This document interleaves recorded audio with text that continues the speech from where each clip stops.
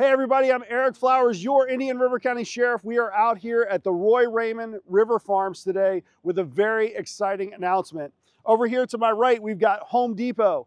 To my left, we've got Team Success. And right here behind me is my team, the Indian River County Sheriff's Office. We've got some of our inmates, our female inmates who are part of this River Farms program. And we're so happy to announce that Team Success partnered with Home Depot and got us a $20,000 grant, all kinds of different tools, shed, everything that we need to make this program a success.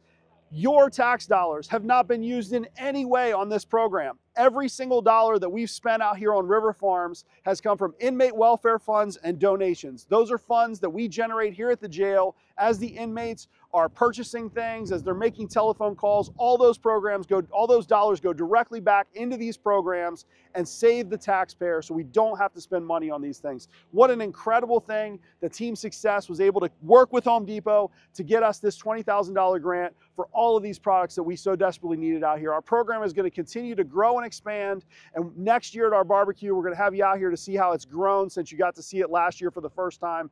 What an incredible blessing we have. Thank you, Team Success. Thank you, Home Depot. You guys are absolutely incredible. And we are blessed out here at the Indian River County Sheriff's Office. Thank you guys for being here today.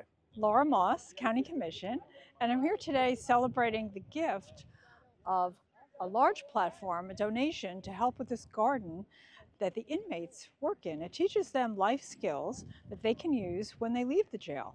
So the jail is no longer a, a dead end. It becomes a place to begin to start your new life.